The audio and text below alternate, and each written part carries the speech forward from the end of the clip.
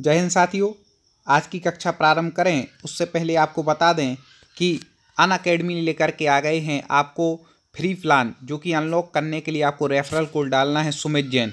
आपको बता दें, इस फ्री प्लान में आपको मिलेगा 500 प्लस लाइव क्लासें, जो कि एमपी के टॉप एजुकेटर द्वारा ली जाएँगी। तो इसी के साथ साथ आप अपने डाउट्स भी क्लियर कर सकते हैं। पचास प्लस एजुकेटर इसमें स्टडी कराते हैं डेली और वीकली। आपके मॉक टेस्ट होंगे जिसमें कि आप किसी भी एग्ज़ाम को एमपी की दे रहे हों, फ्री लाइव क्लास के साथ साथ आप जो भी एग्ज़ाम दे रहे हों, चाहे एम पी हो एम पी पुलिस हो एम पी हो एम पी जेल पहरी, कांस्टेबल, कोई भी एग्ज़ाम हो, आपकी पूरी तैयारी यहाँ पर कराई जाएगी। और बीस हज़ार प्लस क्विज क्वेश्चन के रूप में होंगे, जिनका आप अभ्यास कर सकते हैं सभी सब्जेक्ट के। और daily T twenty free test होता है, जिसमें बीस मिनट में बीस क्वेश्चन हल करने पड़ते हैं। तो आपको बता दें कि आपको अन अकेडमी में इस फ्री प्लान के अंतर्गत जो एमपी के टॉप एजुकेटर हैं, जो बहुत अच्छे से अध्ययन कराते हैं, वो आपको मिलेंगे। और बिल्कुल सीरीज़ बाय सीरीज़ आपको डेली लाइव क्लासों का लाभ भी मिलने वाला है। तो आप गूगल प्ले स्टोर से अन अकेडमी ऐप डाउनलोड करके आप इसका लाभ ले सकते हैं। आपको बता दें कि फ्री मोक टेस्ट आपको मिलेंगे टी ट्वेंटी सीरीज़ के, जिसकी हम जानकारी बता चुके हैं। सभी एमपी के जो प्रमुख एग्ज़ाम हैं, उसकी तैयारी आपको यहाँ पर कराई जाएगी। आपको क्या करना है? डाउनलोड करना है प्ले स्टोर से अन अकेडमी ऐप और कोड यूज़ करना है अनलॉक करने के लिए। फ्री ये सब कुछ मिले, उसके लिए आपको सुमित जैन रेफरल कोड डालना है, जिससे आपको ये सब कुछ फ्री में मिल जाएगा। शास्त्रियों में अमित शास्त्री आज आपसे चर्चा करने वाला हूँ। हिंदी के बहुत ही महत्वपूर्ण तीस प्रश्नों पर लगवा जा हम चर्चा करेंगे, जो कि आपके परीक्षा के लिए महत्वपूर्ण है। तो चलिए शुरुआत करें। पहला है, अलंकार का नाम बताओ। प्रिय प्रवास की बात चलत ही सूखी गया तीय कोमल गात। जैसे ही प्रिय प्रवास की बात चली तो कोमल गात उनका सूख गया। मतलब इतनी बड़ा चढ़ा करके बिल्कुल बात कर रहे हैं, इसलिए यहाँ पर कौन सा हो जाएगा? अति संयुक्ति अलंकार हो जाएगा। ठीक है? वो हाँ पढ़ कर के समझना पड़ता है। आगे देखते हैं। सही विकल्प चुनिए। क्या चुनना है? खाली स्थान और शब्द चयन में विशेष ध्यान देने से कविता भाव संप्रेषण में सहायक होती। किस किसमें? तो आपको बता दें कि इसका उत्तर कमेंट में आपको ही बताते जाना है और फिर हम भी बताते जाएँगे। ठीक है? तो अलंकारों के सार्थक प्रयोग से क्या होता है? कि अलंकारों के सार्थक प्रयोग और शब्द चयन से भाव संप्रेषण में सहायता मिलती है। आगे देखते हैं, सही विकल्प चुने, रस खाली स्थान है। कैसा है? जब रस होता है तो क्या आता है? आनंद। तो रस कैसा है? आनंद स्वरूप। एक और बात बता दें, आपने चैनल को तो सब्सक्राइब कर ही लिया होगा, क्योंकि ऐसे बहुत ही महत्वपूर्ण वीडियो, चाहे हिंदी के हों, चाहे संस्कृत के हों, चाहे बाल विकास आदि के हों, हम आप तक लेकर के आते रहते हैं। चैनल पर बहुत से वीडियो अपलोड हैं, आप प्ले लिस्ट में जा कर के आपको जो भी वीडियो देखना है वो ज़रूर देखें। और आप यदि पूरी तैयारी सिलेबस के अनुसार करना चाहते हैं तो यूट्यूब पर सर्च करें टॉप फिफ्टी स्टडी और इस हमारे यूट्यूब चैनल से जुड़ जाएँ। आपको हम पूरी तैयारी top fifty study YouTube channel के माध्यम से कराएँगे। आगे देखें। सही विकल्प चुने। भाव दशा के कारण वचन में आए परिवर्तन को क्या कहते हैं? भाव दशा के कारण यदि वचनों में परिवर्तन आ रहा तो क्या कहेंगे? उसको वाचिक। ठीक है? अब वाचिक क्या कह लेंगे क्योंकि भावों में परिवर्तन आ रहा है तो अनुभाव कहलाएगा। क्या कहलाएगा? वाचिक अनुभाव। आगे देखते हैं। सही विकल्प चुनिए। काव्य, कविता या पद साहित्य की वह विधा है जिसमें किसी कहानी या मनोभाव को खाली स्थान किसी भाषा के द्वारा अभिव्यक्त किया जाता है। किस रूप से किया जाता है तो आपको बता दें कि यहाँ पर कलात्मक रूप से कविता में वह प्रस्तुत किया जाता है। ठीक है? आगे देखते हैं। पल्लवन में सूत्र वाक विचार या भाव को क्या दिया जाता है? पल्लवन में विस्तार दिया जाता है तो क्या हो जाएगा? मात्र विस्तार दिया जाता है। ठीक है, मात्रा विस्तार नहीं होगा, मात्र होगा, याद याद रखिएगा। आगे बहुत अच्छे अच्छे महत्वपूर्ण क्वेश्चन है वीडियो पूरा देखना। पल्लव पल्लवन पल्लवन और गद्य से पूछे जाते हैं कई बार क्वेश्चन लोग सबसे ज़्यादा इसी क्वेश्चनों में गलती करके आते हैं हिंदी में, इसलिए आप पढ़ लें। पल्लवन सामान्यतः खाली स्थान भाषा में किया जाता है तो किसमें? गद्य भाषा में किया जाता है पल्लवन। पल्लवन और संक्षिप्तीकरण, दो चीज़ें हैं। संक्षिप्तीकरण करते समय क्या करना चाहिए?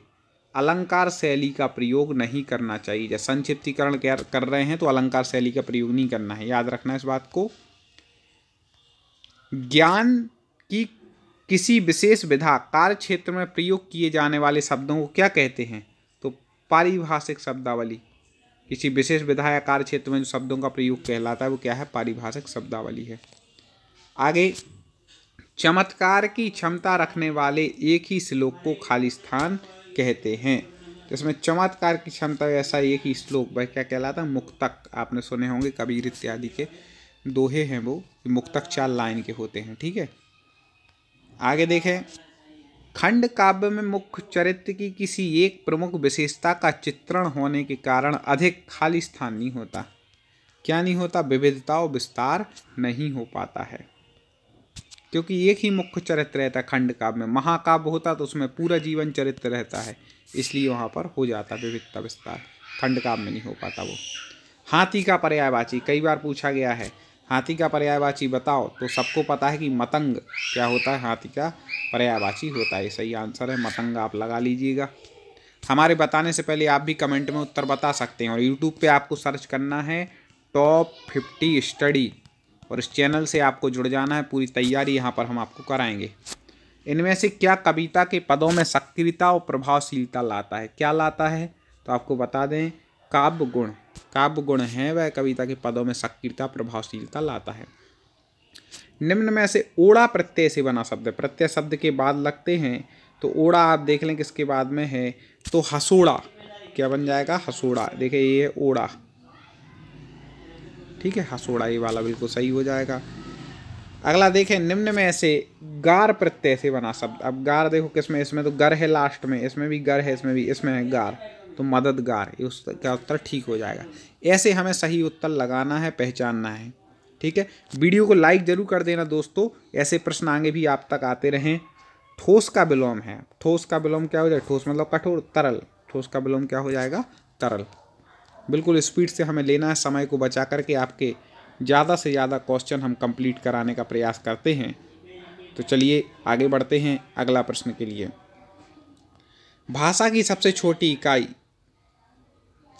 बोली किसकी इकाई है? तो बोली भाषा की सबसे छोटी इकाई।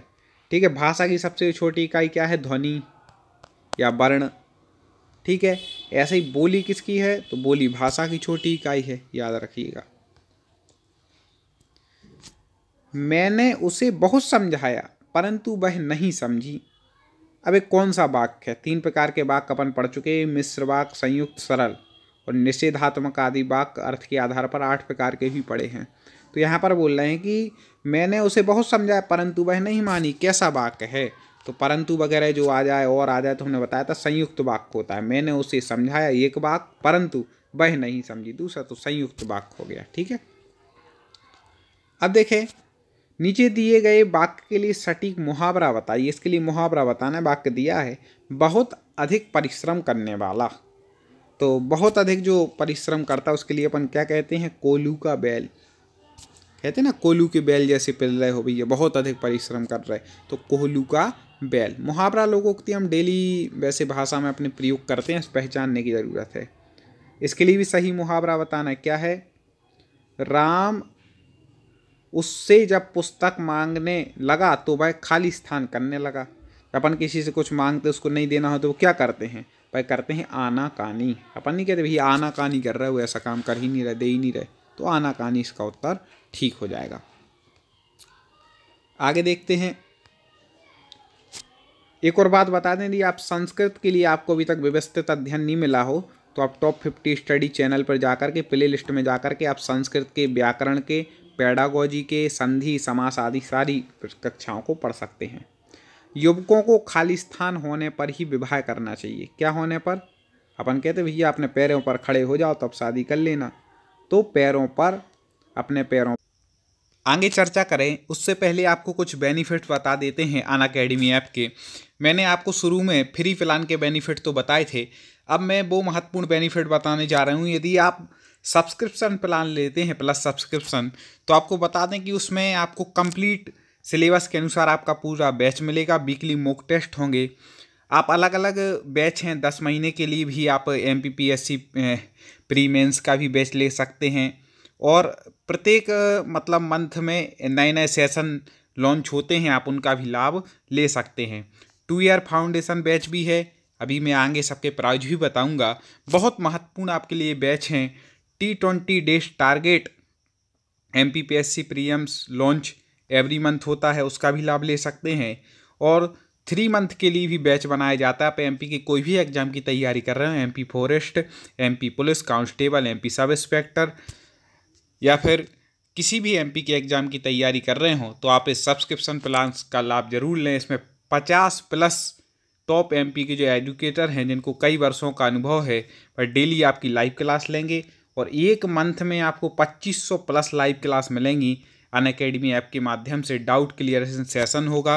हिंदी और इंग्लिश दोनों में आपको क्लासें मिलेंगी और नोट्स भी उपलब्ध कराए जाएँगे। बीस हज़ार प्लस आपको एम सी क्यू क्वेश्चन इसमें मिलने वाले हैं। तो आप ज़रूर से लाभ लें और अन अकेडमी ऐप को डाउनलोड करने के बाद आपको क्या करना है? M P P S C Vyapam चुनना है। उसके बाद प्लस पर जाना है और प्लस पर जाने के बाद यहाँ पर आएगा गेट सब्सक्रिप्शन तो यहाँ पर आपको जैसे ही आप क्लिक करेंगे तो आपके लिए प्लान खुल कर के सामने आ जाएँगे, जिसमें बंथ मंथ का प्लान है, चौदह सौ चालीस का, थ्री मंथ का है। छत्तीस सौ रुपये का सिक्स मंथ का है, चौंसठ सौ अस्सी का बारह मंथ का है सात हज़ार नौ सौ बीस का और चौबीस मंथ का ग्यारह हज़ार चार सौ पचास रुपये का प्लान है। आप कोई भी प्लान लें, यदि आप चाहते हैं कि हमें कुछ छूट मिले तो आपको दस परसेंट डिस्काउंट विशेष रूप से दिया जा रहा है। आपको रेफरल कोड याद रखना है, सुमित जैन, उसको जैसे ही आप डालेंगे तो आपको दस परसेंट का डिस्काउंट मिलेगा। आप फ्री लाइव क्लासेस, कोर्स का आनंद ले सकते हैं, अपने डाउट क्लियर कर सकते हैं और जिस एग्ज़ाम की तैयारी कर रहे हैं, उसको क्रैक कर सकते हैं। आगे देखते हैं आगे, नीचे दिए गए मुहावरे का अर्थ बताइए। दाग लगना। दाग लगना मतलब क्या होता है? कलंक लग जाता है। अपन बोलते हैं ना, तुम्हें दाग लग गया भैया, कलंक लग गया, ऐसा गलत काम किया तो इस प्रकार से हो जाएगा। ठीक है? आगे बढ़ते हैं। बहुत महत्वपूर्ण प्रश्न है, देखती जाइए। नीचे दिए गए शब्दों के अर्थ बताइए। ठीक है? तो अमूल और अमूल्य अमूल, जिसका मूल नहीं हो, वो कहलाता है अमूल। मूल मतलब होता है जड़। तो एक हो जाएगा जड़ रहित। ठीक है? और फिर अमूल्य अमूल्य मतलब जिसकी कोई कीमत नहीं हो, जिसकी कोई कीमत या बहुत अधिक कीमत हो, ऐसे उसके कोई सामान्य मूल्य ना लगा सके तो जड़ रहित और कीमती। इस प्रकार से तीन नंबर उत्तर सही हो जाएगा। और देखें, निम्न, नीचे दिए गए शब्दों के अर्थ बताइए, असाध्य और असाधु। असाध्य मतलब होता है जो आसानी से साध्य ना हो मतलब कठिन हो। तो एक तो हो जाए कठिन। और असाधु मतलब होता है दुष्ट व्यक्ति। तो कठिन और दुष्ट कहाँ लिखा है? शुद्ध ए लिखा है। कठिन और दुष्ट। चार नंबर इसका उत्तर सही हो जाएगा। दोस्तों क्वेश्चन आपको पसंद आ रहे होंगे। वीडियो को लाइक ना किया हो तो ज़रूर कर दीजिएगा। आगे देखें। अबली और आबिल का अर्थ। अबली और आबिल का अर्थ बताना है तो अबली तो आप जानते हैं, पंक्ति लगा देना। तो पंक्ति हो जाएगा, ठीक है? एक क्या हो जाएगा? पंक्ति। अब दूसरा है आबिल। तो आबिल का अर्थ होता है गंदा। क्या होता है? गंदा। तो पंक्ति और गंदा। ठीक है, ये सही हो जाएगा। आगे। पंचपात्र में कौन सा समास है? कई बार पूछा गया। तो हमने बताया था कि पहला शब्द संख्यावाची जहाँ पर होता है, वहाँ पर दिगु समास होता है। ठीक है? तो दिगु। संख्यावाची दिगु। याद रखिएगा। यहाँ पर रस का नाम बताना है, प्रिय पति वह मेरा प्राण प्यारा कहाँ है? दुख जलदी निम्न का सहारा कहाँ है? अब तक जिसको मैं देख के जे चुकी, वह हृदय हमारा नेत्र तारा कहाँ है? तो यहाँ पर कौन सा? अब यहाँ पर बिछुड़ने की बात हो रही है कि भैया कहाँ है? तो करुण रस यहाँ पर हो जाएगा। करुणा प्रकट हो रही है अपने पति के लिए, ठीक है? इसलिए वह करुण रस यहाँ पर हो जाएगा। अगला देखते हैं, छंद शब्द का मुख्य अर्थ। छंद शब्द का मुख्य अर्थ बंधन है। खाली स्थान नियमों के आधारित काव्य रचना को छंद कहा जाता है। तो कौन कौन से नियम है, वो बताना है। तो देखें, छंद में क्या क्या होता है, आप सबको बिल्कुल याद होना चाहिए। तो कई बार पूछा जाता है, गति होती है, तुक होती, मात्रा विराम तो कहाँ है? गति, तुक, मात्रा विराम ठीक है? इस प्रकार से इसका उत्तर ए सही हो जाएगा। और अगला देखते हैं, उससे पहले बता दें लाइक ज़रूर करना दोस्तों शेयर करने शेयर भी अपने दोस्तों तक कीजिए, जिससे वो लोग भी हिंदी अच्छे से पढ़ सके। आगे देखें, खाली स्थान से व्यंग्यार्थ का बोध होता है। व्यंग्यार्थ मतलब व्यंग का, कहाँ पर बोध होता है? व्यंजना शब्द शक्ति में क्या होता है? व्यंग्यार्थ का बोध होता है। हमें उम्मीद है आपको पूरे क्वेश्चन बड़े अच्छे पसंद आ रहे हैं। आप इसी तरह अपना अध्ययन करते रहें।